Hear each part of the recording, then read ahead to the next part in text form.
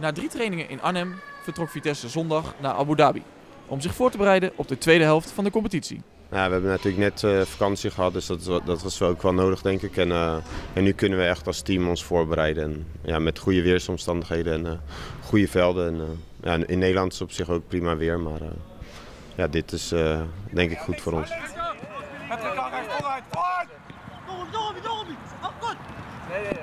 Oké. Op trainingskamp speelt Vitesse twee oefenduels. Later vandaag tegen Wolfsburg en vrijdag tegen HSV. Ja, dat is ook belangrijk. Uh, dan kun je gelijk uh, voorbereiden om uh, straks tegen Zwolle gelijk te staan. En ja, dat is denk ik het doel. Is het dan voorbereiden nu op, op PEC Zwolle of toch eigenlijk op die hele tweede seizoen zelf?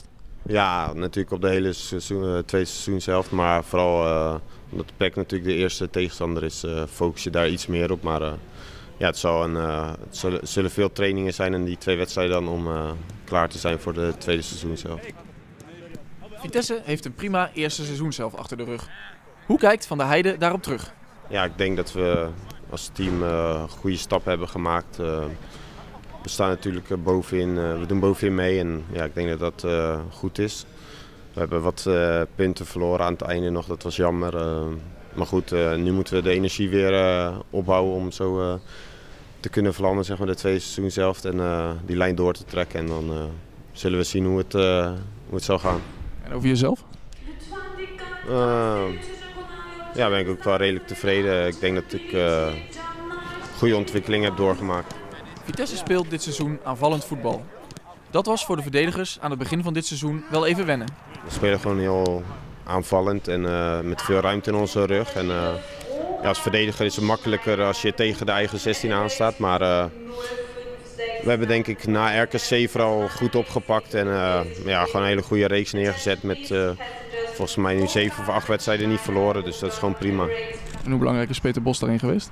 Ja, hij heeft een duidelijke filosofie en speelstijl. En, hij zei aan het begin al, ook al gaan we een keer onderuit, we blijven zo spelen. En, elk detail wordt opgehamerd. de speelstijl wordt steeds beter en makkelijker en begrijpelijker voor ons als spelers. En, uh, dat heb je denk ik ook gezien in de eerste seizoen zelf. En, uh, en nu kunnen we de basis leggen voor, uh, voor een mooie afsluiting van het seizoen.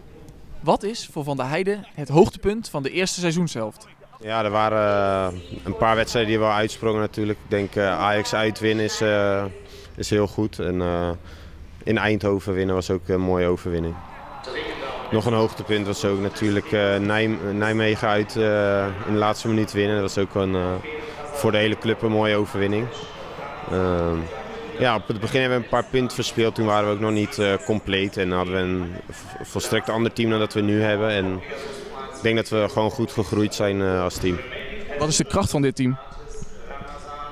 Ja, ik denk dat we zowel uh, individuele kwaliteit hebben als zowel ook dat we als team goed kunnen spelen. En, ja, ik denk dat we gewoon hebben laten zien dat we goed kunnen voetballen. En ja, we zijn vaak dominant geweest in de wedstrijden en creëren veel kansen. En daar moeten we nog meer van gaan maken om wedstrijden makkelijker te gaan winnen.